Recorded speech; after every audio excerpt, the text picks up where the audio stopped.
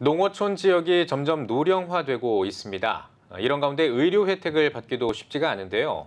농어촌 교회를 방문해 의료 봉사와 임의용 봉사를 펼친 교회가 있습니다. 윤희준 기자가 취재했습니다. 전남 순천시 별량면에 위치한 학산교회. 대다수가 노령층인 농촌 교회에 반가운 손님들이 찾아왔습니다.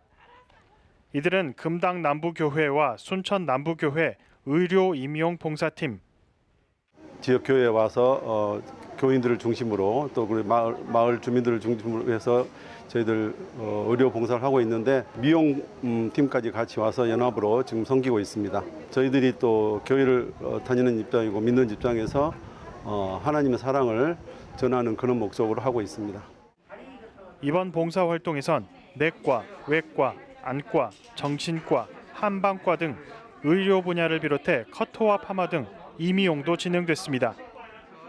그동안 병원 진료와 미용을 받기 위해 장시간 버스를 타야 했던 어르신들은 봉사팀을 통해 최고의 서비스를 받으며 즐거운 시간을 보냈습니다. 아울러 금당 남부교회는 코로나19로 어려운 시간을 보냈던 목회자에게 사역 지원금을 전달하기도 했습니다.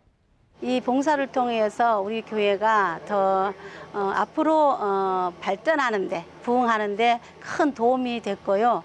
또 동네 사람들에게 우리 학산교회가 좋은 이미지가 될 것 같아서 참 좋습니다. 지난 2년간 이제 코로나19로 인해서 저희들이 에, 국내뿐만 아니라 에, 해외 의료봉사도 이제 거의 못했었는데 또 이렇게 지교회에 에, 의료봉사를 나오게 돼서 어, 정말 하나님께 감사드리고요. 정말 즐겁고 행복합니다.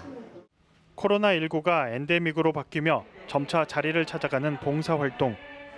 교회 성도들뿐 아니라 지역 주민들이 함께하며 적막했던 농촌 지역에 활기를 불어넣었습니다.